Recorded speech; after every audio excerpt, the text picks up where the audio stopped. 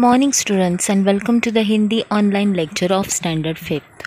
सुप्रभात छात्रों Hindi online lecture में कक्षा पाँचवीं के सभी विद्यार्थियों का फिर से एक बार स्वागत है। स्टूडेंट्स फाइनल एग्ज़ाम का पोर्शन फिनिश हो चुका है। जो बुक नंबर फोर में लेसन्स है उनका अध्ययन समाप्त हो चुका है। चिल्ड्रंस आज के ऑनलाइन लेक्चर में हम इन सभी पार्ट का रिवीजन करेंगे। So childrens all of you remove your Hindi textbook then we start तो आप सभी विद्यार्थी हिंदी पाठ्य पुस्तक निकालिए, फिर हम शुरुआत करेंगे अध्ययन के लिए।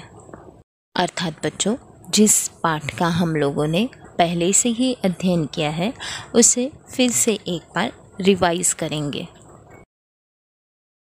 तो सबसे पहले हमने अध्ययन किया कविता क्रमांक ग्यारह, वीरों को प्रणाम, जिसके कवि है रमेश दीक्षित। पृष्ठ क्रमांक चालीस, पेज नंबर फोर्टी पढ़ो और गाओ कविता क्रमांक ग्यारह, वीरों को प्रणाम। सबसे पहले मैं इस कविता का वाचन कर रही हूँ। आप सभी विद्यार्थी ध्यानपूर्वक सुनिए। देश की मिट्टी का कण कण है जिन्हें प्राण से प्यारा। प्रणाम ऐसे वीरों को सौ सौ बार हमारा। देश की मिट्टी का कण कण है जिन्हें प्राण से प्यारा। प्रणाम ऐसे वीरों को सौ सौ बार हमारा। यह ऐसी धरती है जहाँ पर गंगा जमुना बहती, देश पर मर मिटने की हरदम धुन सी रहती। यह ऐसी धरती है जहाँ पर गंगा जमुना बहती, देश पर मर मिटने की हरदम धुन सी रहती। वीरों के बलिदान से चमका हिंद वतन का तारा। वीरों के बलिदान से चमका हिंद वतन का तारा। नमस्कार ऐसे वीरों को, सौ सौ बार हमारा। नमस्कार ऐसे वीरों को, सौ सौ बार हमारा। यह आज़ादी नहीं मिली है हमें किसी से भीख में। सीखा हम लोगों ने कुछ तो प्राणा अर्पण की सीख में। यह आज़ादी नहीं मिली है हमें किसी से भीख में। सीखा हम लोगों ने कुछ तो प्राणा अर्पण की सीख में। देश की मिट्टी का कण कण है जिन्हें प्राण से प्यारा। देश की मिट्टी का कण कण है जिन्हें प्राण से प्यारा। प्रणाम ऐसे वीरों को सौ सौ बार हमारा। प्रणाम ऐसे वीरों को सौ सौ बार हमारा। कवि रमेश दीक्षित। चिल्ड्रंस इस कविता का मुख्य भाव उद्देश्य यही है कि देशभक्ति और देश प्रेम की भावना जगाना। बच्चों, कई ऐसे वीर भारत देश को मिले हैं जिनको देश की मिट्टी का कण कण प्राण से भी प्यारा था, यानी कि उनके जान से भी प्यारा था। और ऐसे वीरों को हमारा सौ सौ बार प्रणाम है, ऐसे कवि यहाँ पर कहते हैं। प्रणाम अर्थात नमस्कार। वीर अर्थात बहादुर पराक्रमी। अब भारत देश ऐसी धरती है, जहाँ पर गंगा जमुना जैसी नदियाँ बहती हैं। यहाँ पर जो वीर हैं उन्हें देश पर मर मिटने की हरदम धुन सी लगी रहती है, धुन अर्थात लगन। और इन्हीं वीरों के बलिदान से आज हिंद वतन का तारा सारी दुनिया में चमक रहा है, वतन अर्थात देश। तो ऐसे वीरों को सौ सौ बार प्रणाम हमारा, ऐसे कवि यहाँ पर कहते हैं। कवि कुछ इस प्रकार कहते हैं कि यह जो आज़ादी है, जो स्वतंत्रता है, वह हमें किसी से भीख में नहीं मिली है, क्योंकि वीरों ने अपना बलिदान दिया है। और इसी आज़ादी के लड़ाई ने हमें प्राणार्पण की सीख दी है। और जिन वीरों ने देश को अपनी जान से भी अधिक प्यार किया है, उन्हें मिट्टी का हर एक कण प्राण से भी प्यारा है। उन्हीं वीरों को यहाँ सौ बार प्रणाम किया है। तो छात्रों, हमने कुछ इस प्रकार इस कविता का अध्ययन किया था। कविता के बाद हमने अध्ययन किया है पाठ क्रमांक बारह। सपूत। पेज नंबर फोर्टी वन पढ़ो, समझो और दोहराओ। बच्चों, यह पाठ एक कहानी है, जिसके द्वारा हमें सीख मिलती है कि ज्ञान और बल से भी कर्तव्य और सेवा जैसे सद्गुण मनुष्य को श्रेष्ठ बनाते हैं। जो हमने अध्ययन द्वारा यह जाना कि बहुत पुरानी बात है। फुलेरा नामक एक गाँव था, जो कि आदर्श गाँव माना जाता था। गाँव में हर तरफ़ स्वच्छता थी। गाँव की गलियों में नियमित रूप से झाड़ू लगाई जाती थी। नालियाँ रोज़ साफ़ की जाती थी। लिपाई पुताई करके घर आँगन सुंदर रखा जाता था। परिसर में बड़ी संख्या में पेड़ पौधे थे। कुएँ का पानी निर्मल रखने के लिए आवश्यक सावधानियाँ बरती जाती थी। पनघट स्वच्छ और सुसज्जित था।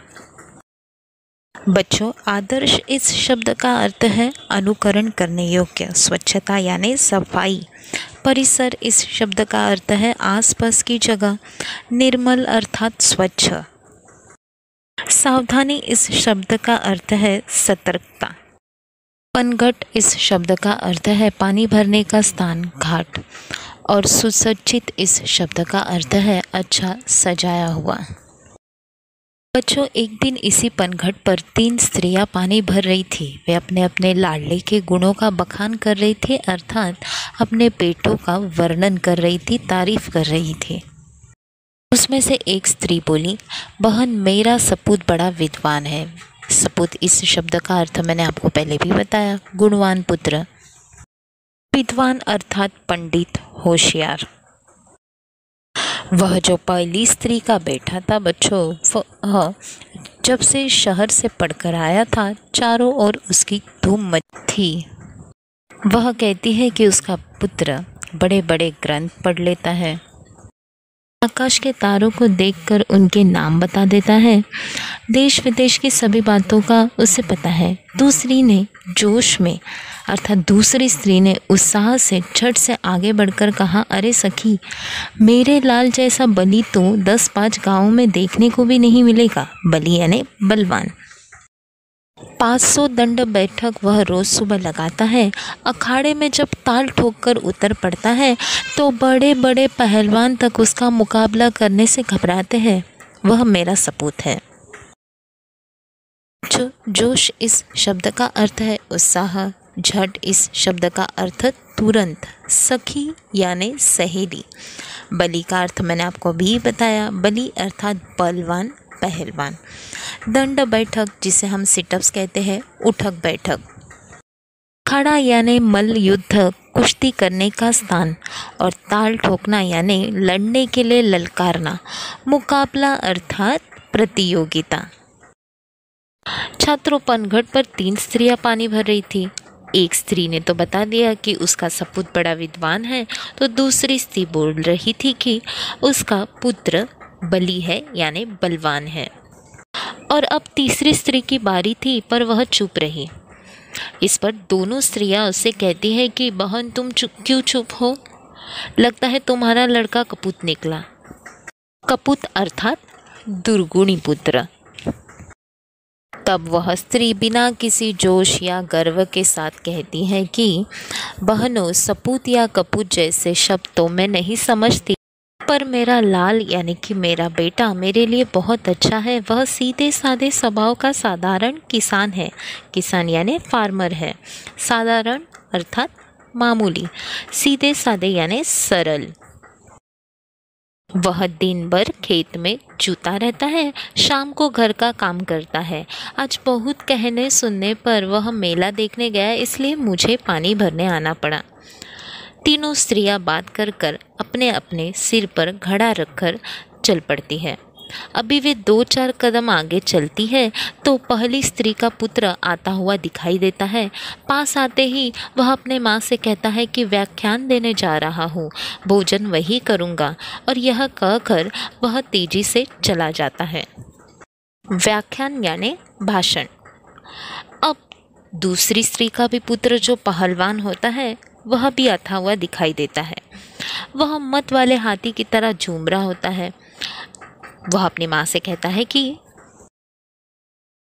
आज दंगल में मैंने एक नामी पहलवान को बुरी तरह पछाड़ा है। दंगल अर्थात कुश्ती। नामी इस शब्द का अर्थ है प्रसिद्ध पछाड़ना, यानी हराना।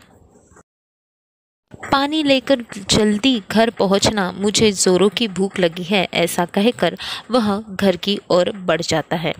अंत में यानी आखिर में तीसरी स्त्री का पुत्र भी वहाँ आ पहुँचता है। वह बड़ा ही सीधा साधा होता है।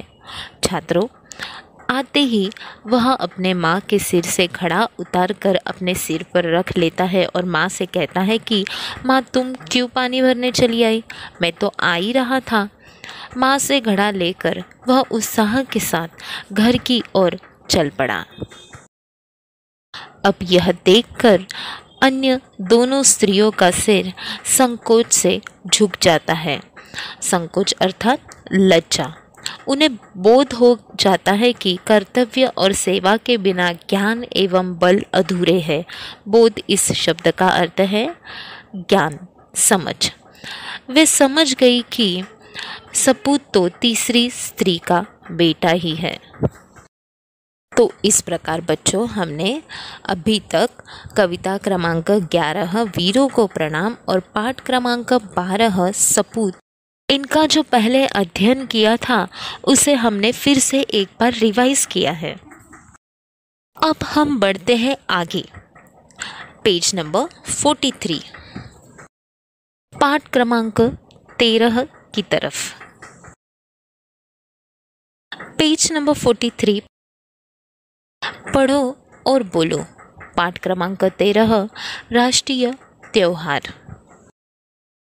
राष्ट्रीय त्यौहार, अर्थात नेशनल फेस्टिवल बच्चों, प्रस्तुत पाठ में विद्यार्थी राष्ट्रीय त्योहार पर बातचीत कर रहे हैं। यह एक संवादात्मक पाठ है। एक बातों की चर्चा एकांकी के रूप में प्रस्तुत की गई है। ज्ञान आकांक्षा, त्रंबक और क्षितिज राष्ट्रीय त्यौहार पर चर्चा करते हैं। ज्ञान कहता है कि स्वतंत्रता दिवस एवं गणतंत्र दिवस हमारे राष्ट्रीय त्यौहार है। बच्चों, आप सभी को पता है, स्वतंत्रता यानी आज़ादी दिवस यानी दिन, गणतंत्र यानी प्रजातंत्र। तो Independence Day and Republic Day ये हमारे नेशनल फेस्टिवल है। अब इन बातों की चर्चा हमने भी पहले ऑनलाइन लेक्चर में की है बच्चों कि हम स्वतंत्रता दिवस एवं गणतंत्र दिवस क्यों मनाते हैं। तो ज्ञान के इस बात पर स्वतंत्रता दिवस एवं गणतंत्र दिवस हमारे राष्ट्रीय त्यौहार है, इस पर आकांक्षा कहती है कि अमर सपूतों के अथक प्रयासों से 15 अगस्त उन्नीस को हमारा देश स्वतंत्र हुआ। अमर इस शब्द का अर्थ है जो कभी मरते नहीं। अथक इस शब्द का अर्थ बिना थके प्रयास यानी प्रयत्न। तो आकांक्षा की इस बात पर त्रंबक कहता है कि यह दिन स्वतंत्रता दिवस के रूप में मनाया जाता है। फिर ज्ञान कहता है, आज़ादी मिलने के बाद बड़ी लगन से देश का संविधान बनाया गया। तथा 26 जनवरी 1950 को इस देश में लागू किया गया। अर्थात आज़ादी, स्वतंत्रता मिलने के बाद बड़ी लगन लगन यानी लगाव प्रेम के साथ देश का संविधान यानी व्यवस्था बनाई गई। और उस व्यवस्था को, संविधान को 26 जनवरी 1950 को इसे देश में लागू किया गया।